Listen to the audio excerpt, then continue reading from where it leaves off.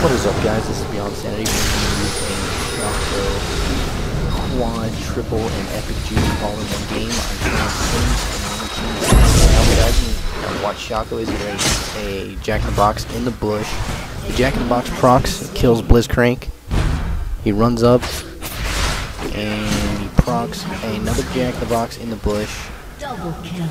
And shields Nocturne as Pantheon runs back, gets speared by the box, procs it, Teemo procs and his clone explodes to get him the quad. This next kill is a triple kill where he goes and if you watch Morgana, watch where my cursor's at. Morgana walks into the box trap and gets slain and then he pulls off a triple on Teemo. Very nicely done. And for this final clip, I'm going to be showing you an epic juke all in the same game.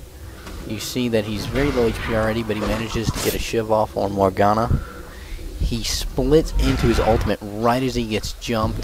The Pantheon did not crit him. He power box on Pantheon.